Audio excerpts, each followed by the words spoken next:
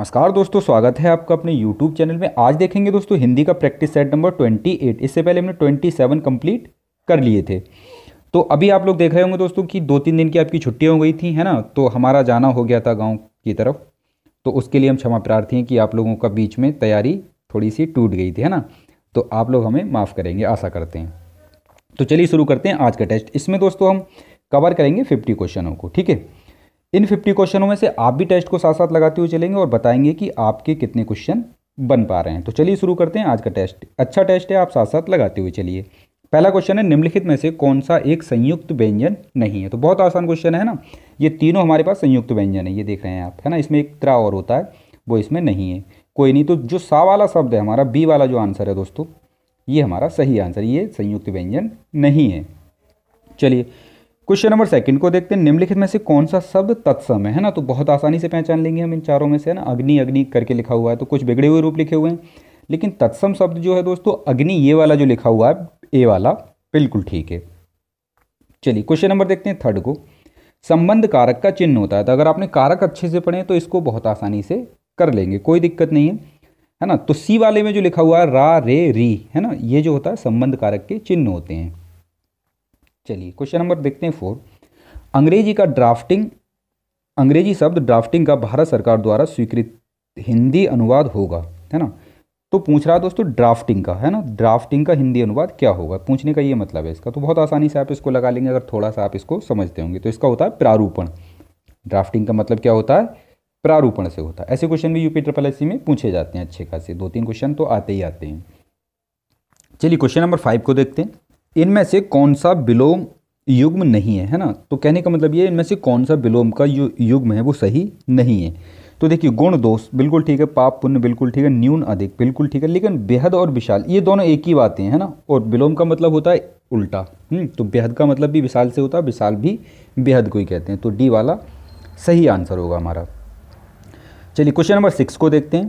तालब्य व्यंजन है ना? तो अगर आपने वर्णमाला को बहुत अच्छे से पढ़ा है तो इसको आसानी से लगा लेंगे। तो तालब्य व्यंजन जो होते हैं दोस्तों, जो ए विकल्प में दिए हुए हैं, वो सही आंसर है हमारा। चलिए, क्वेश्चन नंबर देखते हैं सेवन को। अंगुली पर नाचना, है ना? इसका मतलब इस मुहावरे का मतलब क्या होता है? तो अंगुली पे नाचने का मतलब क्या होता है? आसानी से आप इसको लगाएँगे। बहुत इसका होता है किसी की इच्छा अनुसार चलना। बी वाला आंसर ठीक हो जाएगा।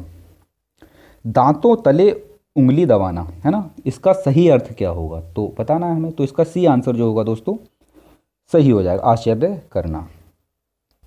चलिए क्वेश्चन नंबर नाइन देखते हैं। किसी संस्था के 25 वर्ष पूरे होने पर होने वाले निम्नलिखित उत्सव के लिए एक शब्द है है ना?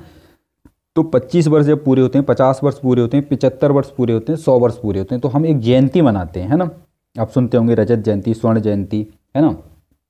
डायमंड जयंती है ना? फिर प्लेटिनम आगे बहुत सारी जयंतियाँ होती रहती तो पूछ रहा है कि 25 साल पूरे होने पर जो जयंती मनाई जाती है, उसको हम क्या कहते हैं? तो उसको हम कहते हैं दोस्तों रजत जयंती। क्या कहते हैं? रजत जयंती। 25 साल पूरे होने पर मनाते हैं रजत जयंती। चलिए, क्वेश्चन नंबर टेन को देखते हैं। निम्नलिखित में से उपसर्ग रहित कौन सा शब्द है? कौन से शब्द में उपसर्ग का प्रयोग नहीं किया गया? आपको ये बताना है। तो बी वाला जो शब्द है दोस्तों इसमें उपसर्ग नहीं दिखाई दे रहा है हमको। बाकी संगम में भी है विमोचन में भी हो प्रत्यार्पण में भी उपसर्ग लगा हुआ है। तो बी वाला सही आंसर है यहाँ से। चलिए क्वेश्चन नंबर देखते हैं इलेवन को। यह रे ले वे किस वर्ग के व्यंजन है, ना? तो बहुत ही अच्छा क्वेश्चन है दोस्तों ये क्या है ये अंतस्त व्यंजन है। क्या है? अंतस्त व्यंजन है। चलिए क्वेश्चन नंबर देखते हैं ट्वेल्व को।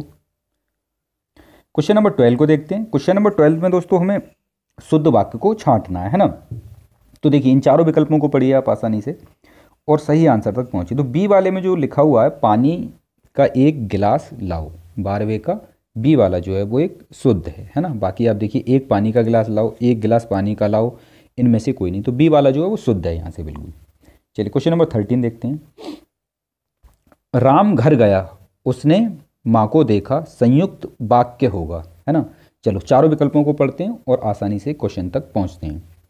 राम ने घर जाकर माँ को देखा तो पहला वाला तो नहीं है दोस्तों, सही, ठीक है, इससे तो संयुक्त वाक्य नहीं बनेगा। राम घर गया और उसने माँ को देखा, इसको थोड़ा सा स्किप करते हैं, सी वाले को पढ़ते हैं। राम गया, राम घर गया अंत उसने माँ को देखा तो ये वाला भी नहीं है है ना, और डी वाला तो होगा ही नहीं तो बी वाला बिल्कुल सही है दोस्तों, संयुक्त वाक्य बनेगा और लगाने से, तथा लगाने से, एवं लगाने से, ठीक है। तो बी वाला सही आंसर होगा यहाँ से। चलिए क्वेश्चन नंबर फोर्टीन को देखते हैं। रोला के प्रत्येक चरण में कितनी मात्राएँ होती हैं? तो दोस्तों, अगर आपने छंद को बहुत अच्छे से पढ़ा है तो आप इस क्वेश्चन को लगा लेंगे। तो रोला के प्रत्येक चरण में होती हैं चौबीस मात्राएँ। कितनी मात्राएँ होती हैं? चौबीस मात्राएँ। सी वाला विकल्प ठीक होगा। चलिए क्वेश्चन नंबर देखते हैं फिफ्टीन को। राम रमापति कर धनु लेहू, यहाँ कौन सा अलंकार है है ना? तो अलंकार देखिए, अलंकार और छंद के ऊपर हम वीडियो नहीं लेकर के आए तो बहुत जल्द हम इन्हीं के ऊपर वीडियो लेकर के आने वाले हो। सकता है आज दिन में आपको एक वीडियो दें जो कि प्रत्यय से संबंधित होगी। तो वाइट बोर्ड की वीडियो रहेगी वो आपकी। अगर हो सका संभव तो आज हम आपको वो वीडियो दे देंगे। तो पंद्रहवें का जो सही आंसर दोस्तों, इसमें होगा अनुप्रास अलंकार, बी वाला। सही वर्तनी छाटनी है ना? सोलह से लेके बीस तक। सोलह से बीस तक हमें सही वर्तनी का चयन करना है। तो चलिए करते हैं, आसानी से कर लेंगे। देखिए, सोलहवें को देखिए, सोलहवें वाले में बी ठीक हो जाएगा। सत्रहवें वाले को देखिए, सत्रहवें में ए सही लिखा हुआ है, अट्ठारहवें में डी सही लिखा हुआ है, उन्नीसवें में ए सही लिखा हुआ है और बीसवें में ए सही लिखा हुआ है। आप देख लीजिए, आप अपने हिसाब से लगाइए, जब आपको सही ना लगे तब आंसर की को चेक कीजिए, जो हम बता रहे हैं। तो आसानी से हमने इनको कवर कर लिए। चलिए, क्वेश्चन देखते हैं ट्वेंटी वन को। सही विलोम शब्द का चयन करना है हमको, ठीक है? तो क्वेश्चन नंबर ट्वेंटी वन है अनादर। तो अनादर का विलोम क्या होगा? ये पूछना चाह रहा है तो अनादर का हो जाएगा दोस्तों आदर। क्या हो जाएगा? आदर। चलिए क्वेश्चन नंबर देखते हैं। ट्वेंटी टू अभिज्ञ, है ना? तो अभिज्ञ का विलोम बताना है दोस्तों हमें कि क्या हुआ? अभिज्ञ का मतलब आपको पता होना चाहिए अच्छे से कि क्या होता है। तो अभिज्ञ का मतलब होता है जानने वाला। किससे होता है? जानने वाला। और अनभिज्ञ का मतलब होता है ना जानने वाले से। तो बी वाला ठीक है यहाँ से, इस हिसाब से देखें तो। चलिए, अथ और इति, ये तो आप बहुत आसानी से पहचान लेते हैं इसको, है ना? तो अथ का इति होता है उल्टा, बिल्कुल ठीक है। करुणा, है ना? तो करुणा का उल्टा बताना है दोस्तों, क्या होगा? तो करुणा का होता है निष्ठुर, है ना? करुणा जब किसी, देखिए, कोई ऐसा दृश्य देख लेते हैं जिसमें हमारे मन में बहुत सारी करुणा उत्पन्न होती है, जैसे कोई कोई भी दृश्य है ना? और निष्ठुर का मतलब बिल्कुल उल्टा होता है कि जिसके मन में कोई भी करुणा ना उठती हो। रिजु, है ना? तो ट्वेंटी फाइव ये भी बहुत आसान है है ना? तो डी वाला इसका सही होगा बक्र ठीक है तो ट्वेंटी फाइव तक हमने कवर कर ली। चलिए ट्वेंटी सिक्स से थर्टी क्वेश्चन तक देखते हैं। नीचे चार चार शब्दों के समूह दिए गए प्रत्येक के तीन तीन पर्यायवत हैं और एक भिन्नार्थक शब्द को चुनिए, ठीक है? तो बहुत आसानी से इसको भी कवर करते हैं। तो कहने का मतलब ये है कि तीन शब्द लगभग एक से हैं, जो अपना एक सा अर्थ रखते हैं। कोई एक शब्द ऐसा है इसमें जो अपना भिन्न अर्थ रखता है। वो हमें चुनना है इसमें से। तो देखिए ट्वेंटी सिक्स में देखिए, उत्सव, उत्साह, पर्व और समारोह, है ना? ये समारोह होना चाहिए। ठीक है? कोई नहीं। लेकिन जो बी वाला दिखाई दे रहा है हमको, उत्साह, ये बिल्कुल अलग है दोस्तों, है ना? तो यहाँ से बी ठीक हो जाएगा ट्वेंटी सेवन को देखिए, दिवस, बासर, दिन प्रसून है ना? ये देखिए, तीनों दिन से संबंधित है, ये अलग हो गया, फूल पे चला जाएगा ये। देखिए ट्वेंटी एट को देखते हैं, कनक, स्वर्ण, हीरक, हेम। ट्वेंटी एट को पहचानिए बहुत अच्छे से पहचान लेंगे आप इसको। हीरक जो है बिल्कुल अलग चीज़ है ना, हीरा से हो गया ये, और ये बाकी सोने से संबंधित है तीनों। ट्वेंटी नाइन क्वेश्चन को देखते हैं, अश्व है तुरंग, कुंजर, है ना? तो ये सब तीनों जो दे रखे हैं, ए, बी और सी, ये सब घोड़े के पर्यायवाची होते हैं, लेकिन कुंजर जो होता है वो अलग शब्द है दोस्तों यहाँ से, ठीक है? ट्वेंटी नाइन का डी हो जाएगा। चलिए, क्वेश्चन नंबर देखते हैं, थर्टी। बादल, पायोधर बारिज बारिद। देखिए, इसमें से देखिए, थर्टी वाले को, इसमें से आपको शायद थोड़ी दिक्कत आ सकती है। लेकिन आनी नहीं चाहिए। तो ये तीनों बादल के पर्यायवाची हैं दोस्तों, है ना? ए बी और डी सी वाला अलग हो जाएगा यहाँ से। चलिए, क्वेश्चन नंबर थर्टी वन से थर्टी फाइव तक देखते हैं कि क्या पूछ रहा है। तो संधि पूछ रहा है दोस्तों, है ना? हमें बताना है कि दिए हुए शब्द में किस प्रकार की संधि होगी? इकतीस से पैंतीस तक। पाँच क्वेश्चन रहेंगे इस तरह के हमारे पास। चलिए, सनमार्ग, है ना? तो सनमार्ग में किस तरह की संधि है? आसानी से पहचानो उसको आप। कोई दिक्कत नहीं, बहुत ही आसान क्वेश्चन है ना? तो सन्मार्ग में होगी दोस्तों व्यंजन संधि। ज्ञानोदय, है ना? तो ज्ञानोदय में तो आपने पहचान ही लिया होगा कि इसमें तो स्वर संधि है। कौन सी संधि है? स्वर संधि। चलिए, निराधार, है ना? तो नी प्लस आधार, है ना? तो विसर्ग संधि, आपको पता चल गया होगा थर्टी। थ्री वाले में तो सी वाला आंसर ठीक हो जाएगा। ट्वेंटी, थर्टी फोर को देखते हैं। निम्नलिखित शब्दों में से किसमें विसर्ग संधि है है ना? तो अतैव नरेंद्र, सज्जन, सदैव। तो अतैव में जो लग रहा है दोस्तों, वो हमको विसर्ग संधि लग रहा है। आप देख के बताइए कि आपको किसमें लग रहा है। तो अतैव में जो है वो विसर्ग संधि है। चलिए, निम्नलिखित शब्दों में से व्यंजन संधि को छांटी। सप्त ऋषि निराधार, सत्कार, हिमालय, है ना? तो देखिए, सप्त व्यंजन संधि पहचाननी है ना हमको तो व्यंजन संधि को आप बहुत अच्छे से पहचान लेंगे। कौन सा? पैंतीस का सी। सत्कार में दोस्तों, व्यंजन संधि है, बाकी सब में व्यंजन संधि नहीं बाकी तीनों में व्यंजन संधि नहीं है। चलिए थर्टी सिक्स से फोर्टी तक देखते हैं। नीचे दिए गए शब्दों में प्रयुक्त समास के नाम का चयन कीजिए। अच्छे क्वेश्चन है सभी। तो थर्टी सिक्स क्वेश्चन को देखते हैं। पीताम्बर में किस प्रकार का समास है? तो आसानी से इसको लगा लेंगे। पीताम्बर में किस प्रकार का समास है? बहुबिरी समास है। ठीक है? चलिए क्वेश्चन नंबर देखते हैं। ट्वेंटी थर्टी सेवन को। चरण कमल में किस प्रकार का समास है? तो इसको भी आप आसानी से पहचान लेंगे। इसमें किस प्रकार का समास है? कर्मधारय समास है। ठीक है? घुड़सवार। तो घुड़सवार में किस प्रकार का समास होगा? बहुत आसानी से इसको आप पहचानेंगे, पहचानिए। तो इसमें भी तत्, इसमें हो जाएगा तत्पुरुष समास। घुड़सवार में किस प्रकार का समास है? तत्पुरुष समास है। बहुत आसानी से आप इनको पहचान लेंगे समास आपने पढ़े और आसान क्वेश्चन है ये, कोई हार्ड क्वेश्चन नहीं है। ट्वेंटी नाइन को देखिए, चौराहा में किस प्रकार का समास है? तो चौराहा आपको पता चल गया, संख्यावाची है। तो आप पहचानेंगे दिगु समास। गर्भ शून्य है ना? तो गर्भ शून्य में किस प्रकार का समास है? तो इसमें दोस्तों कर्ण तत्पुरुष है। कैसा है?